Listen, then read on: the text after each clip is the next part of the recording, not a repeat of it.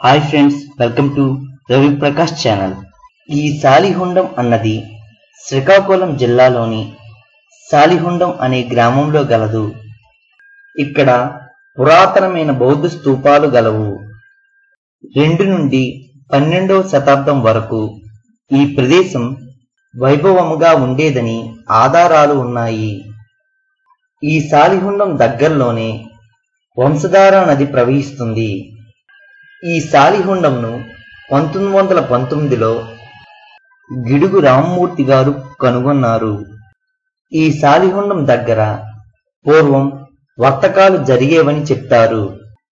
ఈ పురాతన కట్టడాలు ఇన్ని వందల సంవత్సరాలు అయినా ఇంకా అద్భుతంగా ఉన్నాయి. ఇక్కడ గల బావి లాంటి ప్రదేశం నుండి శ్రీ సూర్యనారాయణమూర్తి దేవాలయానికి దారి ఉన్నది అని చెప్తారు. తర్వాత ఈ దారిని పూర్తిగా మూసివేశారు అని చెప్తారు. ఇక్కడ గల సాలిహుండం మ్యూజియంలో పురాతనమైన జైన మతం బౌద్ధ మతం మరియు హిందూ మతంకి సంబంధించిన పురాతనమైన విగ్రహాలు గలవు.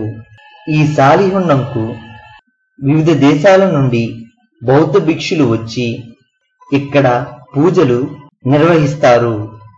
ఇక్కడ గల శక్తిమాత విగ్రహంలో సూర్యదేవుని ముగ్గురు భార్యలు అయిన ఛాయ ఉష మరియు పద్మిని కలిగిన విగ్రహం చాలా అద్భుతంగా ఉంటుంది. ఈ సారిహుండం చుట్టూ పచ్చని వాతావరణం ఆహ్లాదకరంగా ఉంటుంది. మీకు అవకాశం ఉంటే తప్పక చూడండి ఈ అద్భుతమైన పురాతనమైన ప్రదేశాన్ని. మీకు ఈ వీడియో నచ్చినట్లయితే కింద ఉన్న సబ్స్క్రైబ్ బటన్ క్లిక్ చేయండి మరియు మీ ఫ్రెండ్స్కి షేర్ చేయండి. ఇలాంటి ఇంట్రెస్టింగ్ వీడియోస్ కోసం కింద ఉన్న బెల్ బటన్ని యాక్టివేట్ చేయండి. నా ఛానల్ చూసినందుకు ధన్యవాదాలు.